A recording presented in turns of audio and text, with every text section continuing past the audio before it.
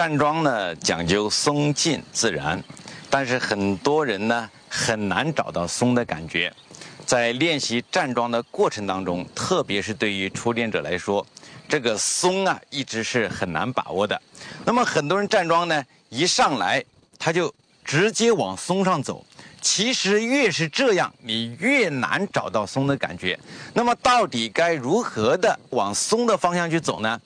道德经呢有一句话叫做“凡也者，道之动也”。其实我们找不到松的感觉的时候，你找紧的感觉是很好找的。那么在我的站桩教材里面，我也跟大家讲到了“先紧而后松”，可能很多人还是没有把它去完全领会。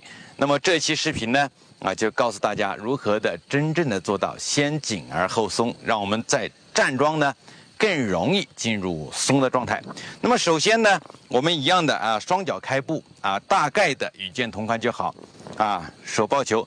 当我们这个庄架站好之后啊，我们就找紧。你看，坐胯，两个腿紧起来，手臂紧起来，虚灵顶劲，紧起来，紧起来之后再往颈上紧一下，紧一下。这个时候你突然的松掉。啊，劲松亦不松哈，就是我们松掉的时候，我们的整个桩架不要卸下来，这个叫做松而不懈。那么这个时候你就很容易找到松的感觉。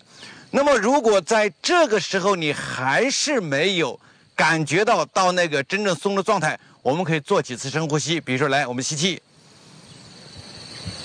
呼气。那么呼气的时候，比如说我想做沉肩，对吧？呼气的时候，我的意识在肩膀上面来。嗯，自然就沉下来了。沉肩坠肘，立直松腕。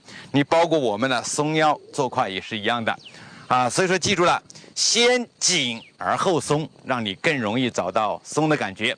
啊，如果再加上几次深呼吸的调整，那你自然就找到了松的状态。啊，一定要记住，松而不懈。